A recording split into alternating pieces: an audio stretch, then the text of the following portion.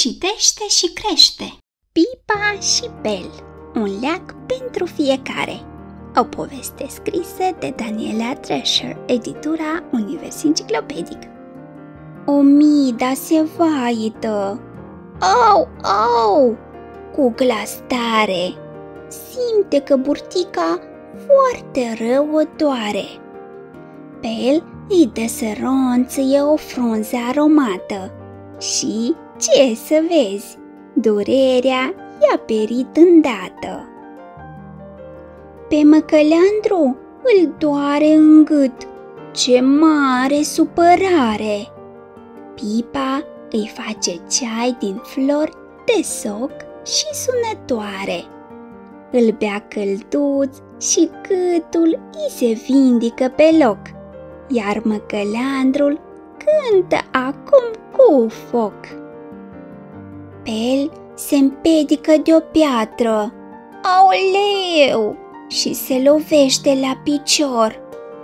Degetele zdrelite sângerează și îl dor.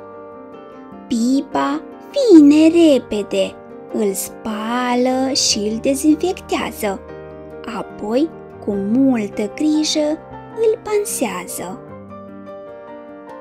Micuța râmă este năcăjită. N-a mai plouat de mult și e foarte slăbită. Bel vine cu o stropitoare și o udă tare.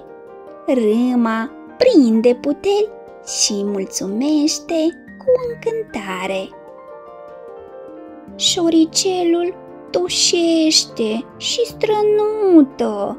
Apciu! E tare răcit. În culcușul lui stă trist și scribulit. Pipa îi face o baie caldă la picioare.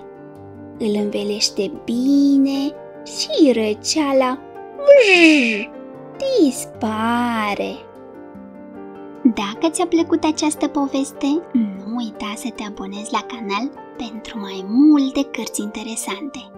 Citește și crește alături de noi!